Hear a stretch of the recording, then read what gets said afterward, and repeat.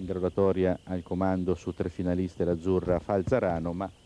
oltre la Vulei ora impegnata saliranno all'attrezzo tra poco la statunitense Shannon Miller e quindi chiuderà la serie delle finaliste la sovietica Kulievic.